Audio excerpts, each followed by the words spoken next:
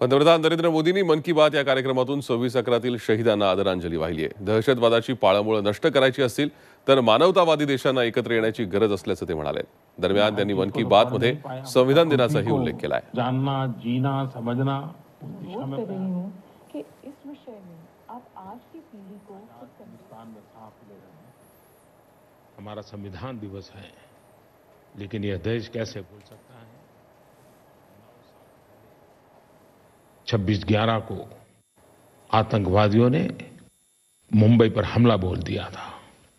देश उन बहादुर नागरिकों, पुलिसकर्मी, सुरक्षाकर्मी, उन हर किसी का स्मरण करता है, उनको नमन करता है, जिन्होंने अपनी जान गंवाई। यह देश कभी उनके बलिदान को नहीं भूल सकता। आतंकवाद ने विश्व की मानवता को ललकारा है। आतंकवाद ने मानवतावाद को चुनौती दी है। वो मानवीय शक्तियों को नष्ट करने पर तुला हुआ है। और इसलिए अब सिर्फ़ भारत ही नहीं, विश्व की सभी मानवतावादी शक्तियों को एकजुट होकर आतंकवाद को पराजित करके ही रहना होगा।